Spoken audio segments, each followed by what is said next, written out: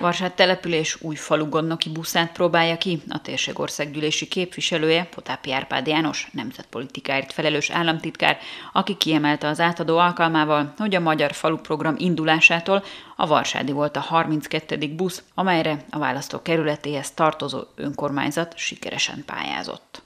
Az én körzetemben is 56 település tud pályázni a Magyar Falu programban, hiszen arról tudni kell, hogy 5000-nél kisebb lélekszámú települések adhatják be a pályázatokat, és az egyik legnépszerűbb ilyen pályázat a kisbuszokra való pályázat. Ez azt jelenti, hogy általában legalábbis itt a Dunántúlon ezek falugonnoki szolgálatot látnak el, az Alföldön tanyagonnoki szolgálatot is.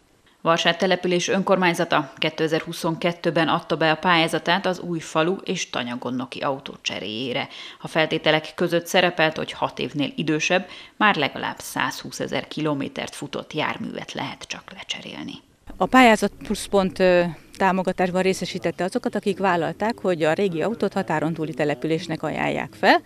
Mivel nekünk sajnos még eddig nincs testvér településünk, ezért mi nem tudtuk megnevezni települést, így a miniszterelnökség jelölte ki a, azt a települést, ahova mi régi falugonoki buszunk kerül, ez pedig Szilágy nagyfalu, erdélyi település. A Varsádon eddig nap mint nap használt, jó állapotban lévő járművet örömmel fogadta el az erdélyi Szilágy nagyfaluban működő magyar baptista gyülekezet. Ez egy élénk növekvő, dinamikusan fejlődő közösség, baptista közösségnek a lelkipásztora vagyok. Örülünk annak, hogy van élet, és sokszor vendégeket fogadunk, vagy megyünk különféle közösségekbe, szolgálatokra. Ezen feladatok ellátásában nagy hasznát veszik majd a Varsától kapott gépjárműnek Szilágy nagyfaluban.